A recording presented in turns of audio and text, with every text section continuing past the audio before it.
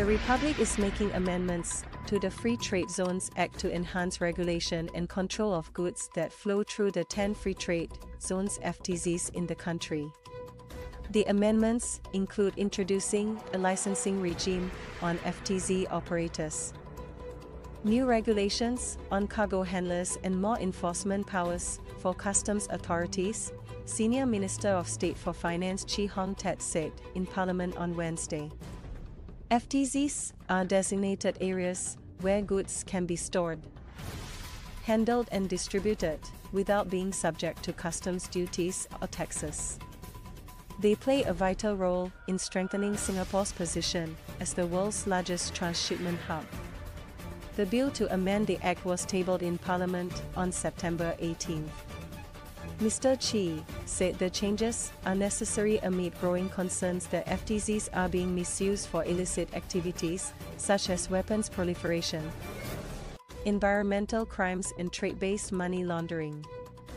He added that perpetrators try to mask such illegal activities as legitimate trade.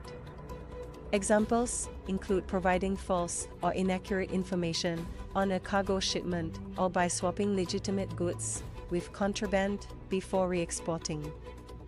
Singapore is the second busiest container port in the world and the largest transshipment hub, handling about a fifth of the world's container transshipment traffic. Several MPs, including Associate Professor Jamus Lim of the Workers' Party, Mr. Shawn Huang Jurong GRC, Mr. Edward Chia Holland Bukit, Timah GRC, and Ms. Mariam Jaafar Sembawang GRC, questioned the adequacy of the amendments. Mr. Chee replied that criminals will always find new ways to circumvent the rules.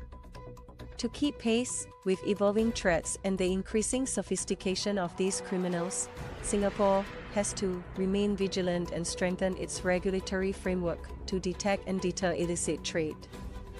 As many FTZ operators are now private entities, Mr. Chee said introducing a new licensing regime, requiring them to go through an approval process, is appropriate, as this will ensure that only those who meet the requirements are awarded licenses. While cargo handlers and agents do not have to apply for licenses, the proposed amendments seek to regulate and clearly lay out their responsibilities, which include monitoring and managing the movement of goods at their premises. They will also need to provide data on all goods passing through Singapore. Currently, only information on imported, exported, or controlled goods is required. Mr. Chee said this will enable better visibility of goods going through the Republic. Customs can monitor the flows of goods for signs of illicit activity and take the necessary action in close partnership with other international authorities. The amendments proposed also seek to enhance the enforcement powers of customs authorities. This includes allowing the Director General of Customs to grant, renew, suspend, or revoke licenses, as well as impose or modify licensing conditions, order the removal of dangerous goods, and detain goods for inspection. Mr. Chee addressed MP's concerns about the impact of the revised regulations on business costs, operational efficiency, and Singapore's overall competitiveness as a trading hub. He emphasized that Singapore wants to facilitate trade and maintain a business friendly operating environment. However, it should not be misused by bad actors for their illegal activities. The proposed amendments seek to strike the right balance between better governance and preserving our pro business environment, he said.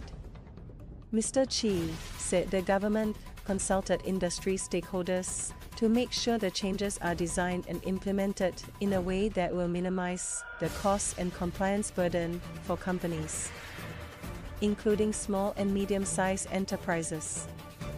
Implementation of the provisions under the revised Act will be phased in from early 2024. Companies will also have a six month period to adjust to the changes. Mr. Chee added. Today, we seek to formalize these amendments into law and, in doing so, put Singapore on a stronger footing to combat illicit trade and remain a critical node in global trade flows. This will help Singapore to safeguard our position as a global trade hub, Mr. Chee said.